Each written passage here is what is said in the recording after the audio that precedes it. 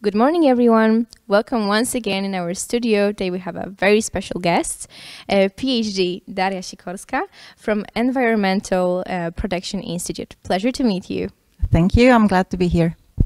So the topic of environment and how to take care of it, how to create sustainable space around us is one of the hottest topics nowadays. Um, I would like to ask you um, what your program consists of, uh, what uh, can students do throughout the course, what it consists of, yes. Okay, so we are here to speak about uh, master program in environmental protection, uh, which is run in English. Uh, so I would say that this program allows us to mm, not only protect the environment, because just pure protection is not enough, but to actively take part in uh, the policy making in uh, bringing actual change in the environment that we live in. So we are trying to equip students with different skills and techniques ranging from uh, remote sensing, uh, spatial planning, uh, environmental research, and many, many others to make this change actually happen.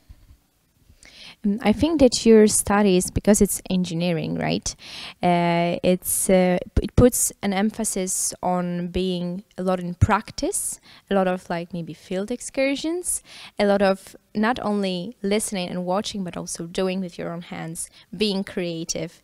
Uh, could you tell something more about this part of, of the studies? Well, so my, my judgment might be a little bit biased because myself I graduated from this uh, from this specialization in English, so I've been teaching for quite some time, and what I like most about it is that we have this constant change that we have to adapt to, both teachers and uh, and and uh, students, and uh, what I remember being most fascinated with was the ability to work in the field. So taking part in practical excursions, uh, doing actual research because most of our staff is involved in multiple international projects. So we are also trying to bring the students in to show them that what they do is actually part of something bigger. Uh, so depending on what kind of uh, projects we are currently running, this can be excursions to Biebrza wetlands or this can be uh, doing studies around Warsaw, but all of them are very practically rooted. Um, so during those um, those excursions and also different um, practice uh, exercises. Uh, you're also creating projects maybe. Uh, what do you think like is most outstanding project that you've um, ever set your eyes on? So I, I, can only speak for myself but I'm also quite aware of the projects my um, my, my, colleagues are running.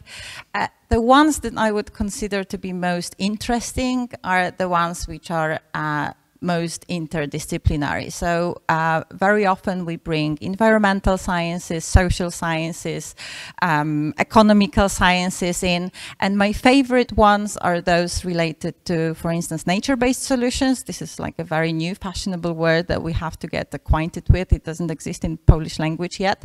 Uh, so one of uh, my favorite projects was the introduction of nature-based solutions uh, in Warsaw as um, greenery, um, so kind of a woodland uh, whose role was to um, collect particulate matter and clean up the air in front of the school. So this was a joint project uh, project with my colleagues and and students. So my students, for instance, they they also learn to write applications uh, to fight for money because this is what the future generations will have to do, um, and try to change um, the environment around them is you mentioned change, right? So um, I am going to ask you about one major change that actually happened in Europe Parliament um, in last days. Um, it's um, it's a recent approval of natural um, restoration law, and I would like to ask you how are you preparing students after graduating to maybe incorporate those new ideas into their future jobs?